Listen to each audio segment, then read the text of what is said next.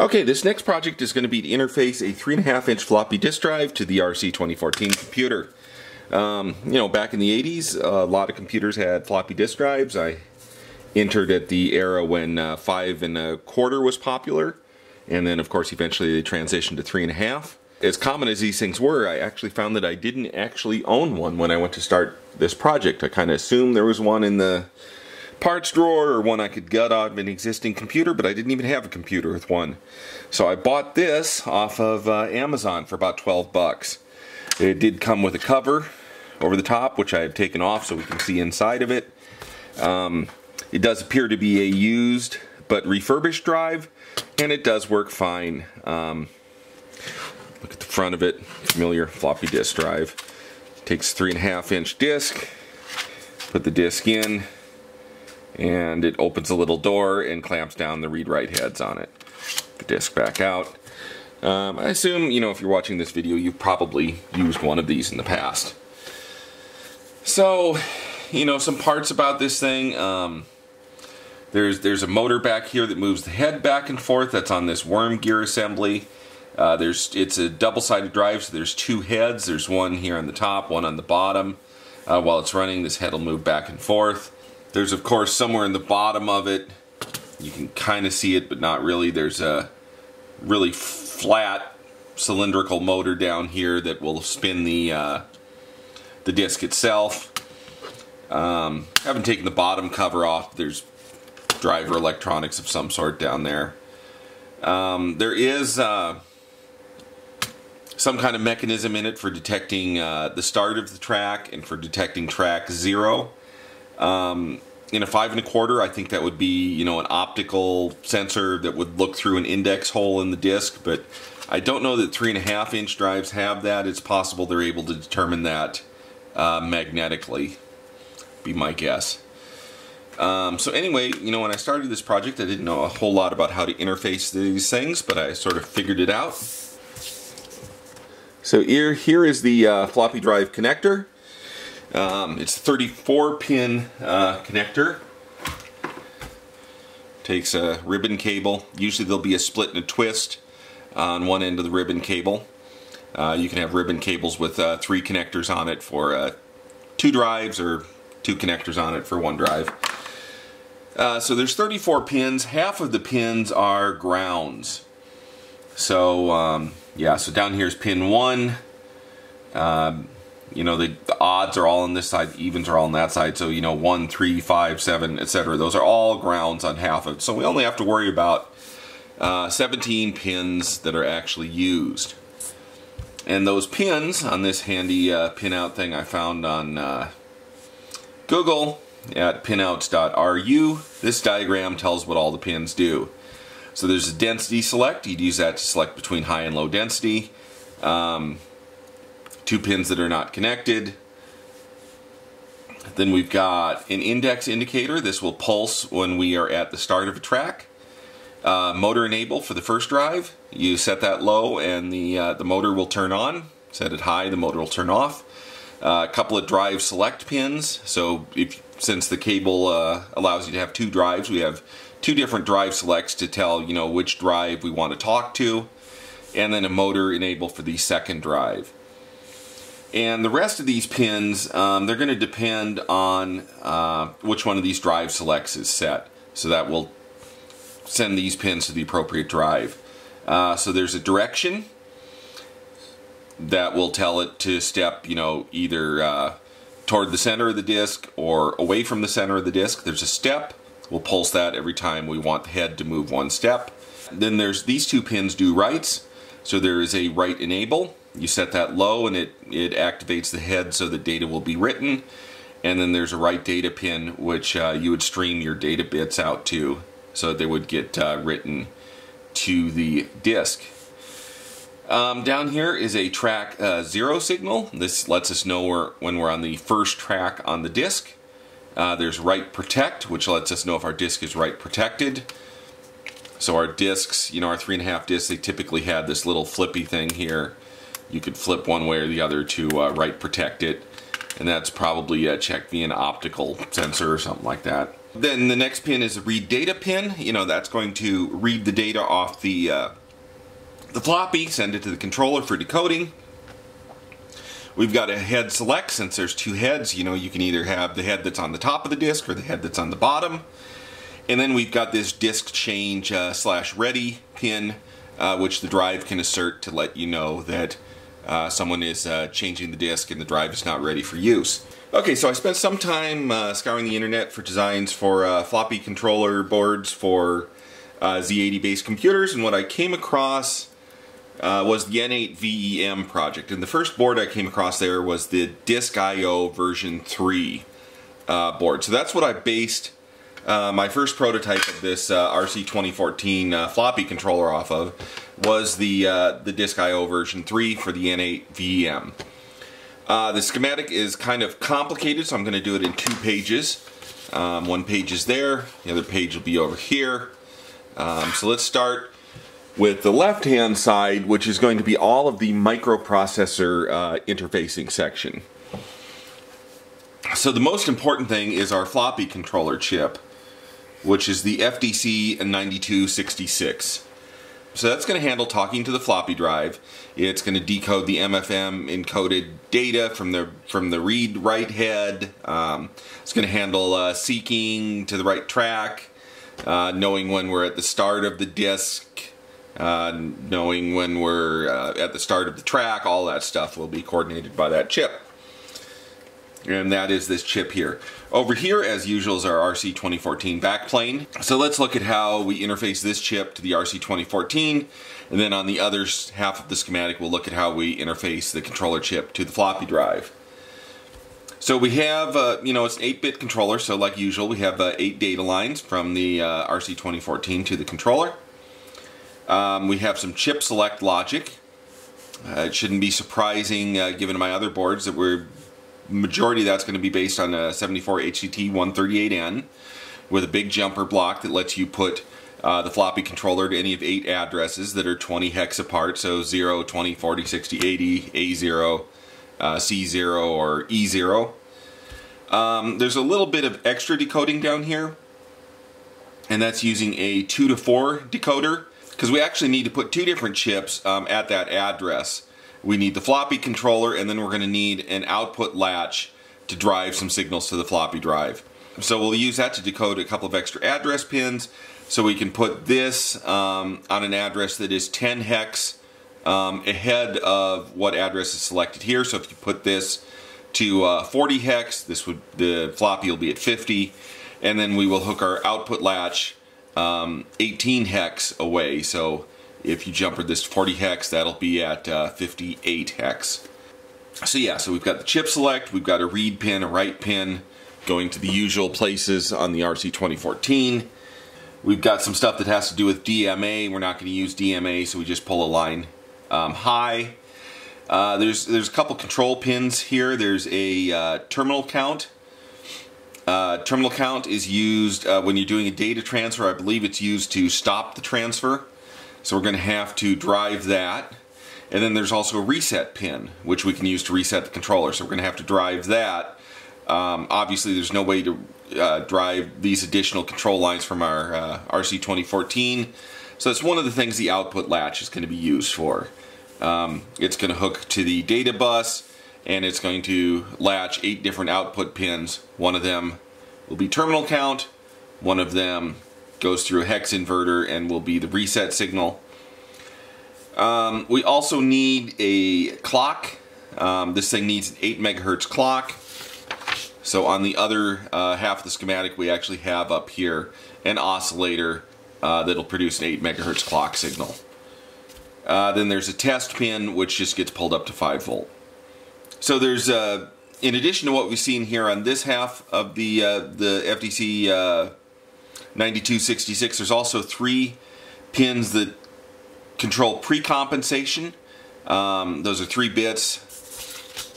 They actually go in over here on this side of the uh, controller chip. Uh, we're going to drive those from our output latch. Um, that leaves uh, three pins remaining. Um, two of those we're going to pull over to the uh, floppy connector to use it to control the motor so we can turn the motors for drive A and drive B on and off. And then this one is going to go to the density uh, select pin on the floppy so we can tell the floppy whether we want it to run in high or low density. Uh, this is one of the places where I diverged from the, uh, the Disk IO V3.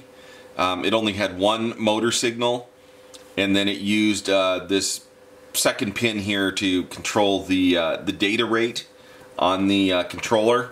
So I probably shouldn't have made that change. Um, that was kind of me thinking I I needed to be able to control those motors separately when I didn't, and by making this change, I actually put set myself up in a position where I lack the ability to use uh, 720k floppies. I can only use 1.44 megabyte uh, floppies. So probably in the next reversion, I'll just do it the way their schematic had it. So that covers all of the microprocessor interfacing side of this controller.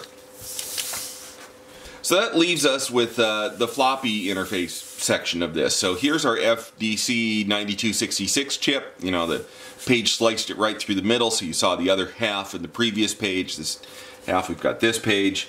Uh, here's our floppy connector.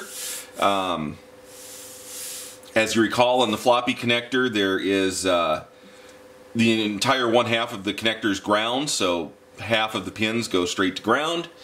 The other pins are those 17 control lines that we're going to need to actually do something with uh, with most of them. So there's there's two annoying things about this particular controller chip. Uh, the first is that our floppy um, most of the time deals with active low signals, whereas the controller chip most of the time deals with active high signals.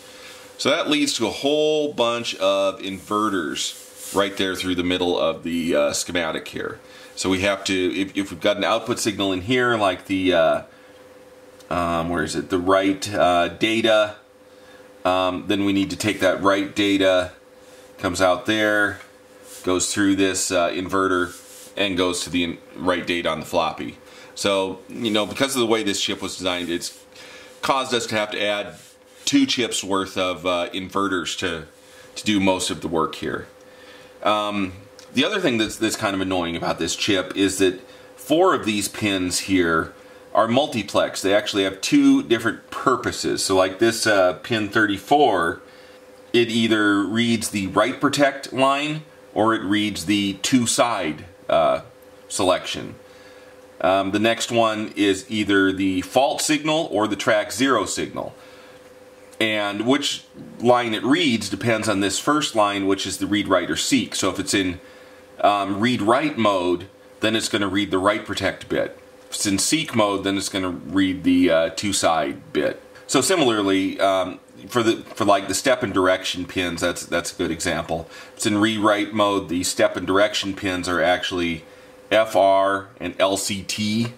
If it's in seek mode, then they are step and direction.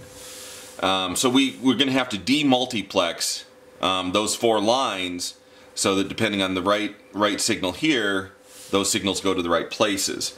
And that falls to this 74HC240 uh, chip here, which is in two banks.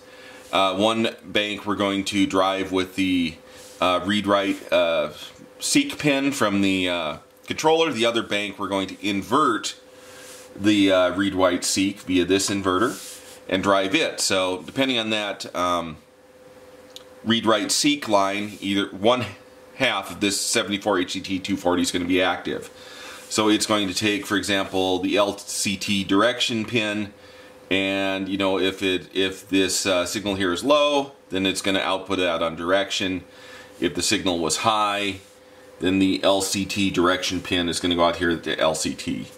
This controller chip has caused us to add, you know, this these two sets of hex inverters and this uh, and this 74 HCT 240 here um, as well. So also we're going to have to add another chip because this thing has it has two uh, drive select bits.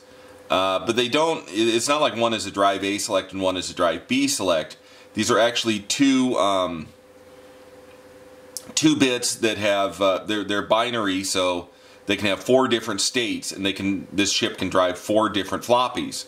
So we need to take these uh, two drive select bits, put them through a uh, 2 to 4 decoder, and from that we can get our drive select A and drive select B. That's basically it. Um, there's also right here is a resistor network. We want to pull up any signals that come from the floppy so that they're pulled up. I put some jumpers down here to select some various things. Um, so for example, you can you can control whether the ready signal says it's always ready or whether its ready signal is connected to the uh, disk change bit on the controller.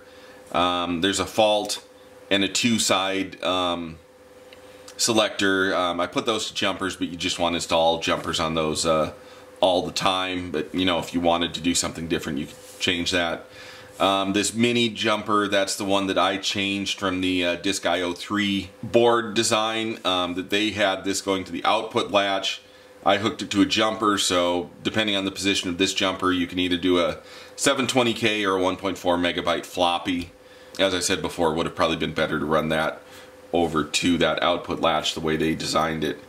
So no sooner did I finish sending off uh, the design for the floppy controller I just showed you and ordering the boards from Osh Park, then I discovered a simpler design on the internet. And this one is based on the uh, Zeta 2 single board computer by Sergey Malinov. And instead of the FDC 9266, it uses a Western Digital WD37C65 floppy controller.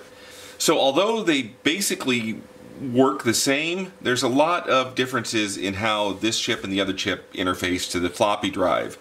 Um, rather than having um, all of those inverters that were necessary because the uh, FDC 9266 output active high signals, whereas the floppy was active low signals. Um, the Western Digital chip outputs active low signals, so we could just route them directly to the floppy controller.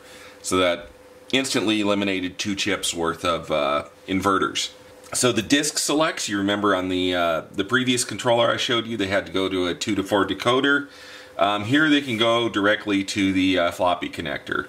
So that eliminated the need for that 2 to 4 decoder. So the FDC 9266 had several of the pins multiplexed and you had to kind of use that 74 HCT 240 to, to flip between them. Uh, this one doesn't multiplex them, so you're able to take, um, there's a direction pin, take it straight out to the floppy, um, a step pin, uh, the write gate, etc. No multiplexing needed, so we were able to eliminate another chip. Um, this one, um, we're going to use it with a 16 megahertz clock instead of an 8 megahertz. The uh, you recall on the previous controller I showed you, we had to have this uh, output register that held things like the motor on off and the pre-compensation and the bit rate select and stuff like that. Um, you don't need that because this one implements the output latch and the configuration register internally. So it has two additional chip selects for that. There's a um, DOR chip select and a CCR chip select. So we will use two stages of address decoding, uh, a 74HCT138 to select the major address of the board and then a second 74 HCT 138 to uh, break that major address out into those three chip selects. So one chip select for the controller, uh, one chip select for the uh, output latch on the controller, and one chip select for the configuration latch on the controller. We still do need some pull-ups uh, for the inputs from the floppy, so we've got those.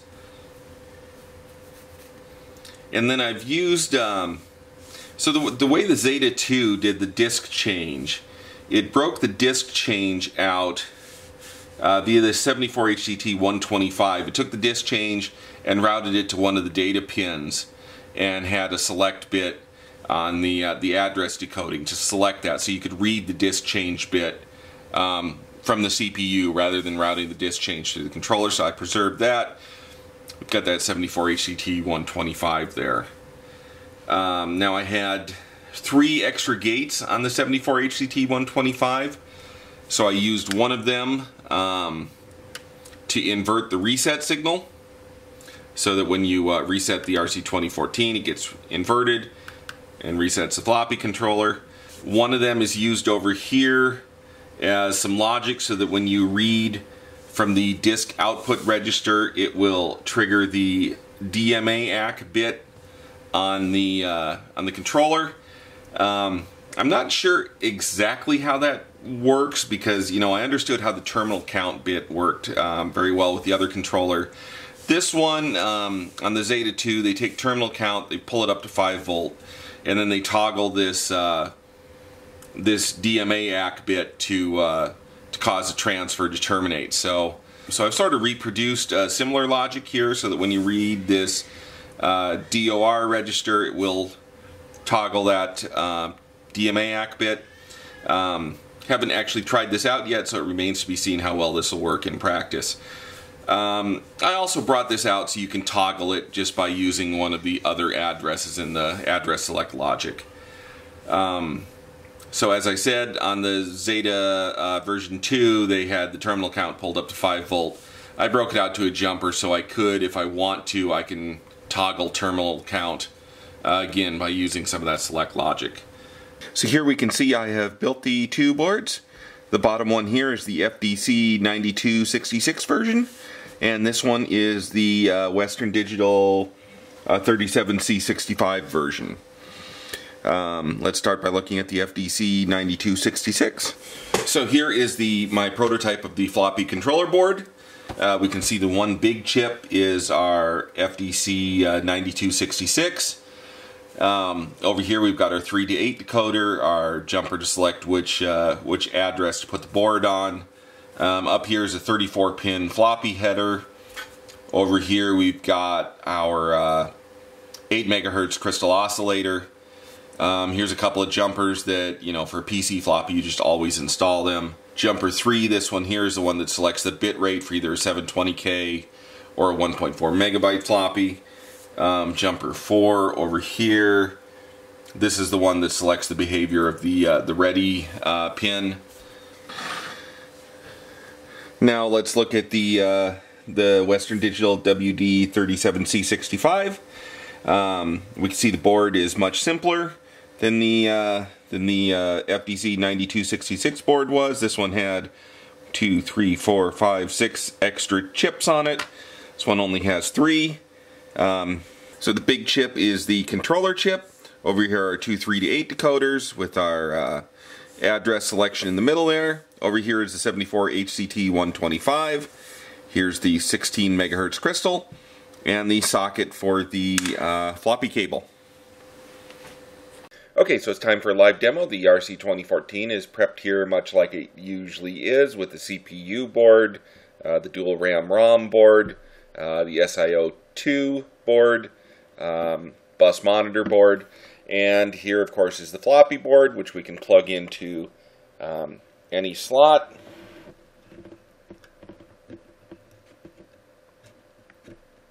Should we plug it in straight? Then here we've got a floppy drive. Cable goes from the uh, floppy controller board to the floppy drive.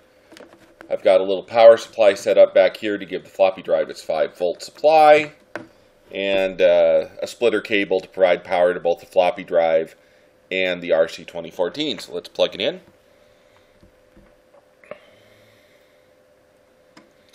There we go. There's floppy drive's motor turned on and made a little clunk noise. There is a disk in there right now. Uh, let's reset the RC 2014. Floppy's light went off. Press spacebar. So I've modified uh, modified Grant Searle's monitor to support the floppy. And we now have uh, the X command for CPM, but I added an F for floppy. So if we push F,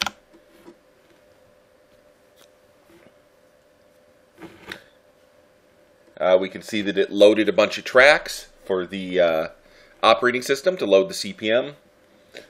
Let me scroll back. You can see here where it's loading uh, a bunch of sectors off the first two tracks. These are the sectors for the CPM uh, operating system. Uh, each one is 512 bytes. Um, this is just diagnostic uh, information that I had it print out. So, you know, it loaded sector 0 on track 0 at address D000 into RAM. Um, when I was debugging it, I it helped me to print out some checksums and stuff to make sure I was getting the right bytes in. Uh, it reads, uh, I believe it reads a total of 24 sectors which is a total of uh, 12K. And then once it's done that, um, CP/M is running. Um, I added this thing here to print out the media type when I was uh, debugging some issues. Media type 6 means a 1.44 megabyte floppy. So if we do a dir, uh, we can see I've already loaded some stuff onto here, including Zork uh, 2. So as expected, it takes a little while to load Zork.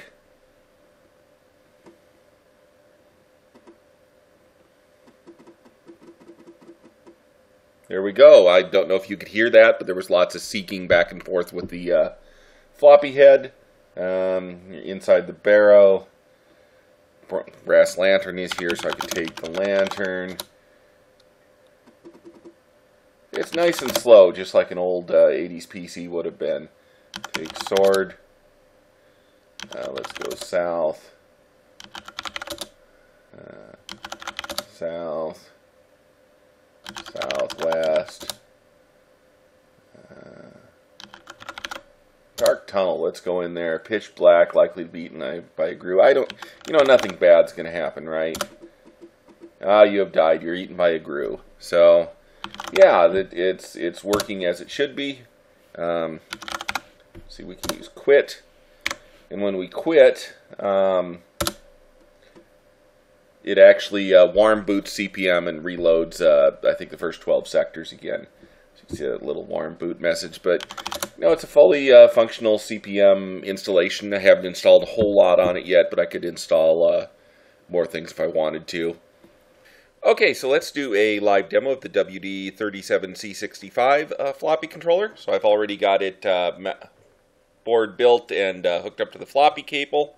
Just plug it into an available slot in the RC 2014. And then we will uh, power up. Uh, reset our board. Let's try that again. Reset our board. Um, so I did have to rebuild the uh, monitor ROM because we're now using a different floppy controller. So I had to change a constant telling it uh, which floppy controller to build in. So I've reburned the monitor ROM. I also uh, made a new floppy disk and I've already installed CP/M on it and uh, uh, some CP/M files. Plug in the floppy. Go over here, we'll hit our spacebar, X, F. And just like with the FDC 9266, it's loading the sectors off the floppy. It's booted CP/M.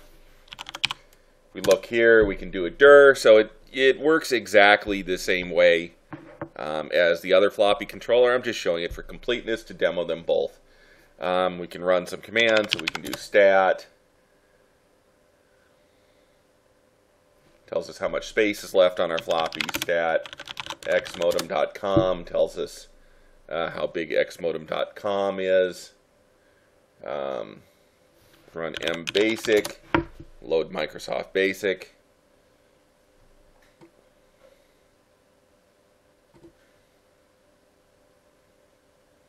Takes a little while, lots of stuff to load. Exit Microsoft Basic. Now you notice when we run a big command and then exit, it has to reload uh, CP/M um, from the floppy. That's why we get this little floppy media type uh, thing printed out at the end of the command. Um, let's, like we did before, we can load Zork 2.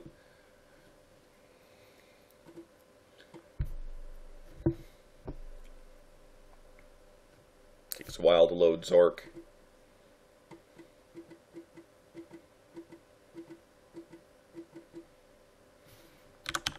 Look, south. Let's take the sword. Take sword south. Um, yeah, Zork, you know. Um, attack little. He's a wizard. Let's attack wizard. Said I could see the wizard. Oh, I dropped the sword. Well, bummer. Um, anyway, you know, Zork uh, working as it should. So, uh, just like the other floppy controller, this one works uh, fine. Um, to choose between the two implementations, I like this one better because it has a lower chip count, uh, more functions implemented on the uh, the floppy controller itself. And that's it for this demo. Thank you for watching my video. Please visit my website at www.smbaker.com for more electronics projects and sandrail stuff. Bye.